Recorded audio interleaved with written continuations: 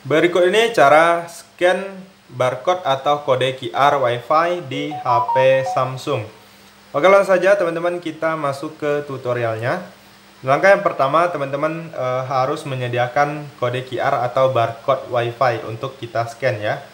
Nah lalu di sini teman-teman bisa masuk ke e, pusat kontrol.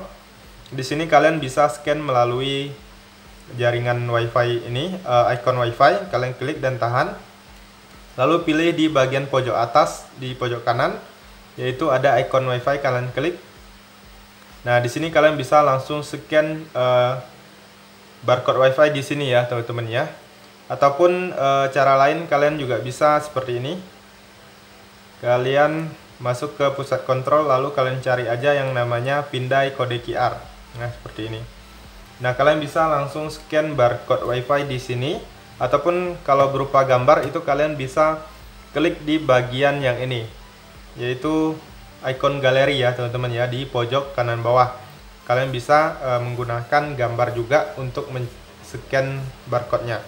Nah kalau kalian ada barcode seperti ini kalian bisa langsung scan ya seperti ini langsung di scan aja. Maka nanti dia akan menghubungkan ke jaringan wifi nya secara otomatis Oke teman-teman itu saja semoga informasi ini bisa bermanfaat dan sampai jumpa di video berikutnya.